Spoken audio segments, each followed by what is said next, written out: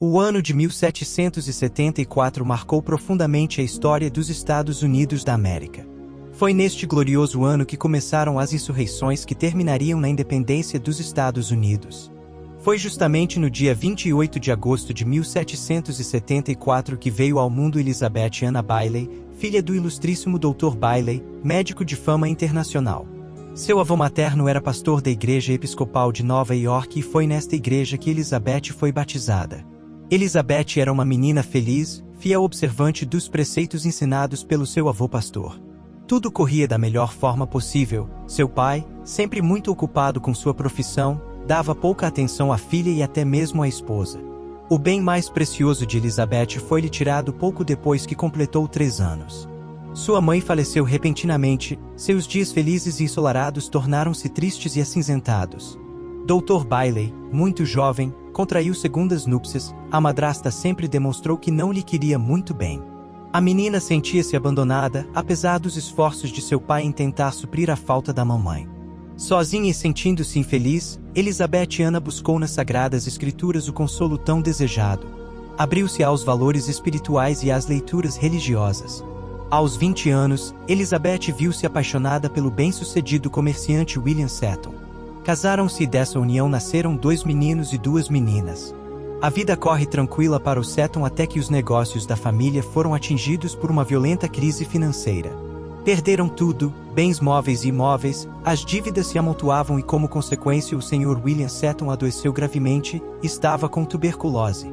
Foi nesse tempo de contratempos que os Seton receberam um convite providencial dos italianos Felici e com eles partem para a Itália em busca de dias melhores e da saúde do Sr. Seton. Poucos dias depois de chegar a Litorno, Itália, William Seton veio a falecer. Viúva e com quatro filhos, Elizabeth ergue a cabeça e com uma fé inabalável decide permanecer na casa dos italianos. O testemunho de fé daquela família italiana foi, aos poucos, transformando os sentimentos de Dona Elizabeth.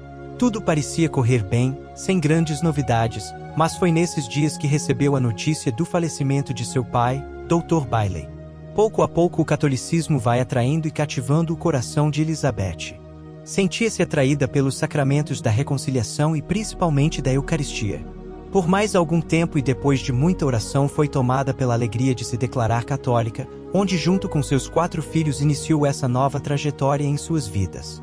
Elizabeth, depois de uma longa estada na Itália, retornou aos Estados Unidos e lá revelou sua intenção de tornar-se católica juntamente com seus filhos. Muitos de seus familiares e amigos ficaram chocados e deram-lhe as costas e começam a desprezá-los. Logo após o recebimento dos sacramentos, a família Seton sentiu-se imensamente feliz e revigorada na fé.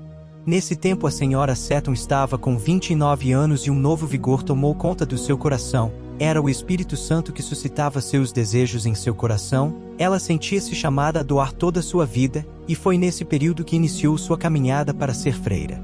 Por aquele tempo, as crianças católicas não tinham acesso às escolas e, na maioria das vezes, eram obrigadas a mudar de religião. Seria preciso urgentemente a criação de escolas paroquiais para atender aos irmãos e filhos dos irmãos na fé. Assim, auxiliada por outras jovens generosas, deu início às primeiras escolas católicas paroquiais. As escolas paroquiais foram sendo criadas em todas as cidades e assim todas as crianças e adolescentes teriam direito à educação gratuita e sem distinção de credo. Com Dona Elizabeth surge uma nova instituição religiosa, as Irmãs de São José, que hoje são mais de 10 mil a serviço da educação cristã. Irmã Elizabeth foi sempre incansável e zelosa no trato com todos.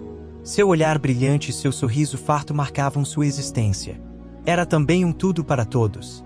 Com apenas 47 anos e cheia da graça divina, tomando em suas mãos o Santo Terço, companheiro inseparável de sua caminhada, sentiu-se enfraquecida fisicamente e pouco a pouco foi percebendo que sua vida está no fim. Uniu-se em oração com todas as irmãs e também com seus filhos, por algumas horas permanecem assim. Em seus últimos momentos pronunciou os sagrados nomes de Jesus, Maria e José, e logo depois recebeu os santos sacramentos e, reconciliada com Deus e os irmãos, entregou sua alma ao Senhor. Seu exemplo e seu testemunho atravessam gerações e engrandecem seus descendentes. Foi no ano de 1975 que o então Papa Paulo VI declarou Santa Elizabeth Anna Bailey Seton a primeira santa dos Estados Unidos. Que o testemunho desta leiga nos inspire. Que Deus te abençoe.